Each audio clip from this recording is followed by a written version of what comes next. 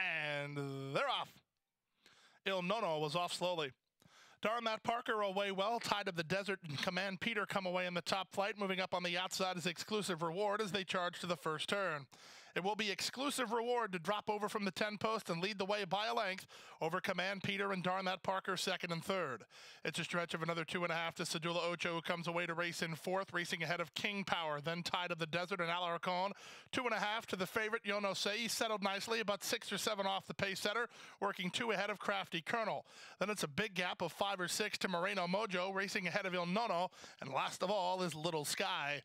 Down the backstretch they go after completing a quarter in 23 and 3. An exclusive reward has the lead. Darn that Parker. And the bright lime is tugging under Richard Mitchell with no place to go. On the outside in command, Peter is now second from fourth, Sedula Ocho. Then King Power. Alarcon is next ahead of Tide of the Desert. Easing into the race is Yono Says. Very much in range. He'll have to go three wide, but he's getting ready to do just that. Racing ahead of Crafty Colonel, who's well clear of Moreno Mojo. Then to the outside is Little Sky, and trailing is Il Nono as they round the far turn.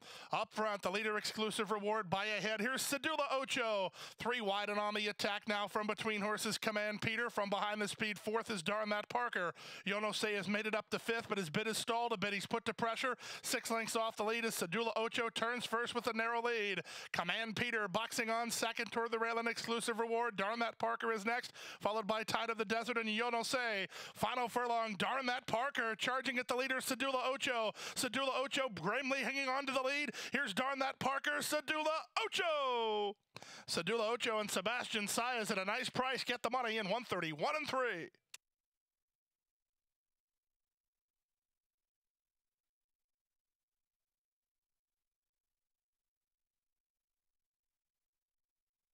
Twelve Planet Rock, so a field of eleven.